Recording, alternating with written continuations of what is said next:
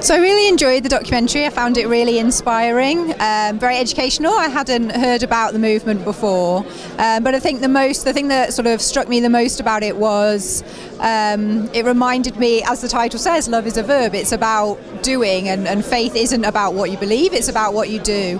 Um, and I think I found it, yeah, really inspirational to see kind of how people are putting their faith into action in so many amazing ways and doing so many amazing things. Uh, it was quite humbling, actually. Um, the people's stories in the documentary were absolutely inspirational to see how people were, um, you know, almost putting their lives on pause or, or not exactly that, but but making their lives about living their faith and living what they believe um, was was really really inspirational. So so to see people, um, you know, traveling to war zones and. Um, volunteering and giving up their time was, was really inspirational.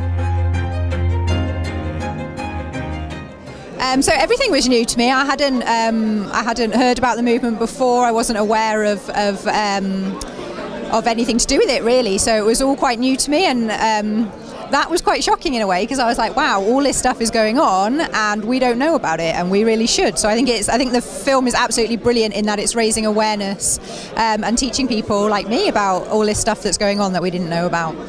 Um, so the documentary taught me loads of new things. Um, uh, to be honest, I think all of it was pretty new to me. So I hadn't heard about the movement before. I wasn't aware of all these um, all these amazing things that are going on, um, the schools, the volunteering work, um, all of that kind of thing. Um, all really new. So really great that the film is is there to do that and to educate and just to raise awareness about these brilliant things that people are doing.